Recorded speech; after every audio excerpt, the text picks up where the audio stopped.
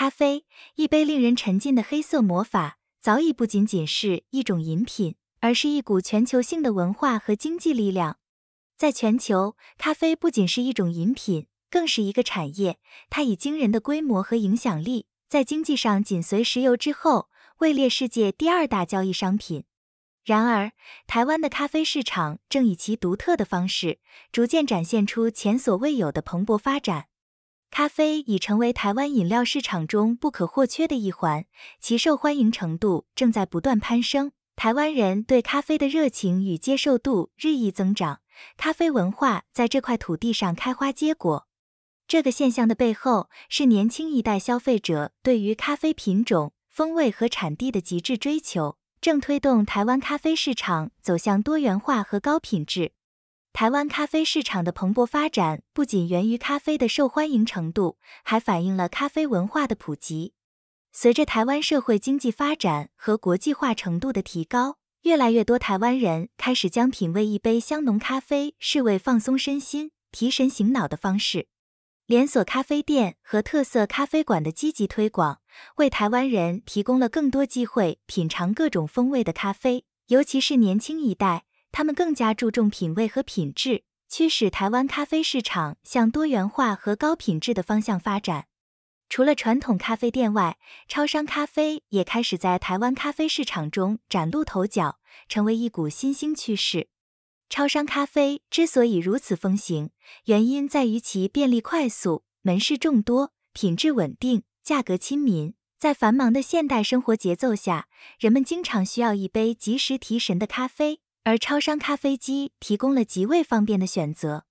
此外，超商积极引入各种口味的咖啡饮品，满足不同消费者对于咖啡饮品之口味需求。无论是浓缩咖啡、拿铁还是特调咖啡，都能在超商找到属于自己的一杯咖啡。随着超商不断推陈出新，推出新品和限时优惠，吸引消费者的目光。超商咖啡已经成为台湾咖啡市场中不可忽视的一部分。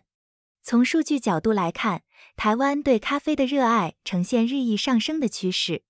据统计，台湾每年消耗约二十八点五亿杯咖啡，这数字清楚地显示了台湾人对咖啡的喜好程度。随着咖啡文化的普及，咖啡店的数量也在不断增加，已广泛分布于台湾各个城市和地区。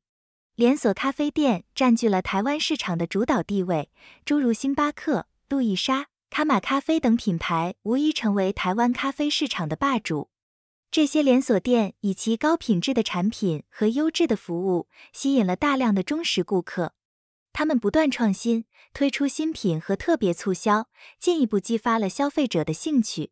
独立的精品咖啡店在台湾如雨后春笋般开店，不仅以手工烘焙技术闻名。并特别注重品质、风味和特色，以咖啡的独特风味和奖项殊荣吸引广大消费者。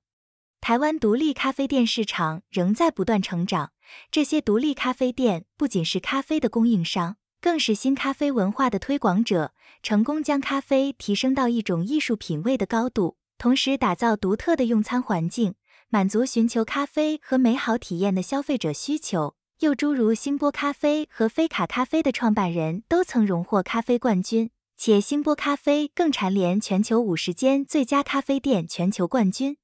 台湾咖啡市场多元化俨然已成为未来主流趋势，咖啡文化的普及和消费者对品质的要求，使得连锁咖啡店和独立咖啡店均能在市场中找到自己的定位。未来，随着台湾社会的不断变迁和咖啡市场的竞争加剧，咖啡店需要不断创新，厘清自己的顾客价值主张与聚焦获利模式，并提供更优质之产品和服务，以维持其吸引力和市场份额。总的来说，台湾咖啡市场前景充满潜力，咖啡文化将继续融入台湾人的生活。成为他们不可或缺的一部分，这无疑是一场各家用力角逐的繁荣黑金时代。